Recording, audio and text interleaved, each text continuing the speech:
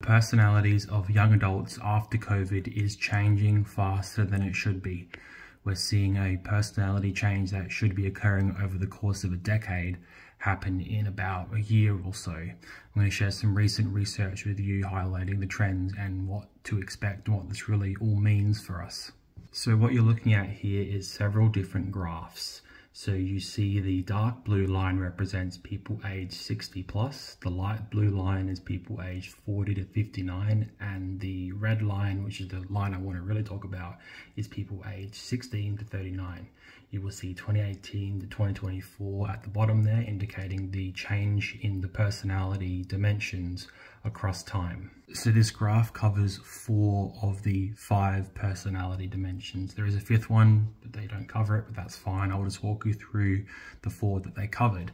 Right, so the first one you'll see is conscientiousness, and you'll see that the red line for the 16 to 39 year olds has dipped. So what the heck does conscientiousness mean? So conscientiousness is a personality dimension that tries to index how structured and organized and goal orientated a person is. So basically higher is generally better. So the more conscientious you are, the more structured and goal directed you are in your behavior and the more you develop a routine and actually follow through with it. So as you're seeing here, the lowered conscientiousness is the inverse, which means more free flow, more less goal directed behavior, less structure in life. So we're seeing people after COVID, especially a young crowd, basically not following through with their plans or even probably really developing plans in the first place. So the next one is neuroticism. So this indexes the frequency to which a person experiences negative emotion, or more simply put, the frequency to which a person might experience things such as anxiety or depression. And in this case, higher is not as good. So the higher you are, the more neurotic you might present, and then by extension, the more maybe anxiety or depression you might be experiencing. So as you'll see, 16 to 39 year olds are on average experiencing more negative emotion over time. Um, which would coincide with the completion of COVID. So what you really want to see is that lowered, somewhere even in the middle or even below the middle to represent someone that is not experiencing as much negative affect as um, others would in the sample data. So lower means basically less anxiety and depression amongst other personality traits. Next up is agreeableness. So this indexes the frequency to which a person tends to either cooperate or be a bit more competitive or whether a person avoids conflict or charges right into it. So lower agreeableness means more conflict, like you are seeking out more conflict and you're basically less trustworthy of people and you're more likely to be irritated and effectively argue, really. Whereas high agreeableness is someone that's more cooperative, team orientated, group uh, they might go with the group as opposed to being a bit more of a singular sort of person, right? So with agreeableness, I think the ideal range really is probably somewhere in the middle where you're reasonably cooperative and reasonably like competitive and you'll stand up for what you believe in. So we're seeing a massive dip in agreeableness, which means people are becoming effectively less cooperative and kind of less trustworthy by extension, really.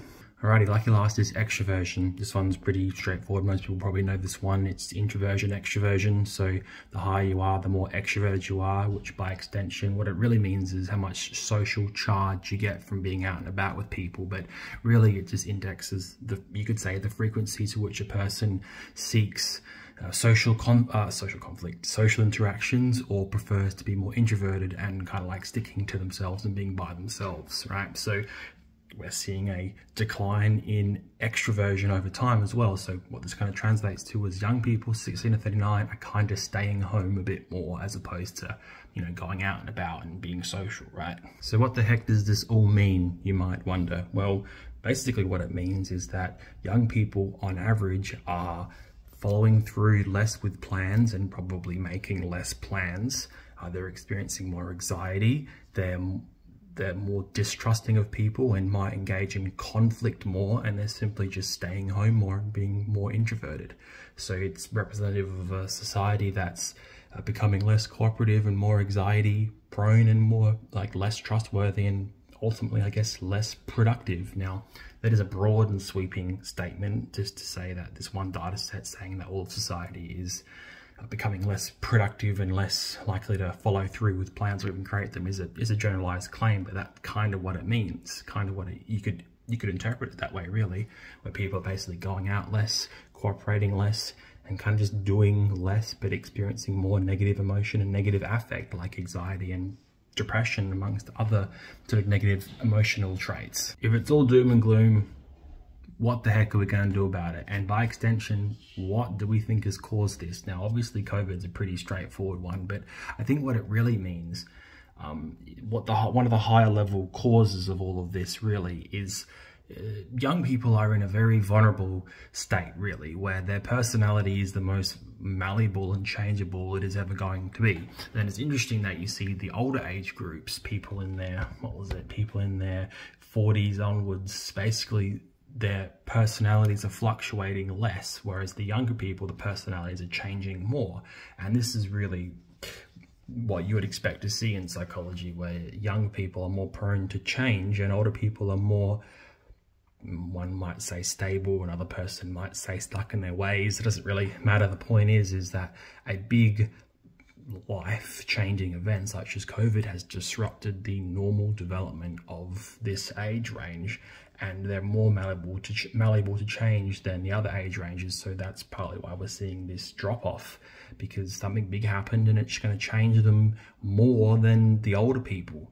So yeah it's really important that we document this and understand it because we need to jump in and develop interventions quickly before well like before it becomes more of a permanent thing. I mean, the, a lot of the young people in this sample are still changeable because they're still young. So very much things like self-awareness and being aware that um, the general tendency to follow through with plans is kind of possibly dropped off and um, you would re, we can reorientate quite easily by re-encouraging young people to get back into it really as one simple strategy, I suppose. But um, yeah that's all I've got for this one. So thank you for watching. Hope you found it interesting. Uh, this research is from the Financial Times, so you can probably just put into Google personality change research Financial Times August 2025 and you'll find it. And um, hope you found it interesting and thank you for watching. Subscribe for more.